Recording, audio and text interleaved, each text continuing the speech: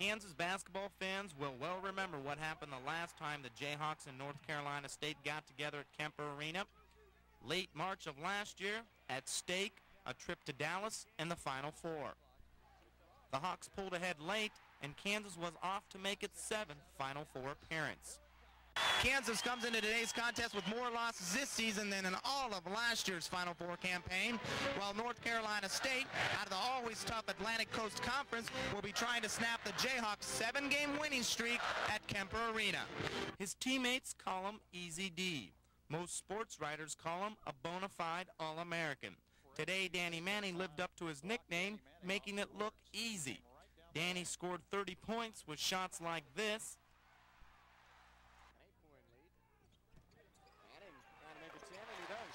It's to Hunter. Manning. He pulled 14 caroms off the boards, 10 on the defensive side. Gets position on the board. Easy D wasn't done yet. Sit back with Kept the ball alive after a teammate missed an attempt. Manning keeps it alive out front. Tough enough to take the charge. He even served as a peacemaker during a small scuffle.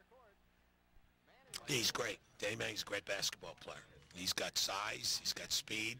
He shoots the ball well. He plays with enthusiasm.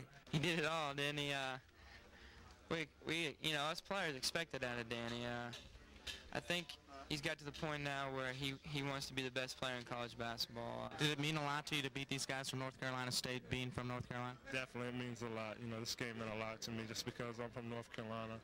You know, those guys recruited me, and uh, I don't know, it's just something I have with myself that, you know, I always want to play good when we play at school from North Carolina. Danny Manning made sure the people back in North Carolina haven't forgot about him. The junior forward played one of the best games of his career in front of a national television audience and leading the Jayhawks to the victory. From Kansas City in the Kemper Arena, Patrick Sturgeon for the Lawrence Report.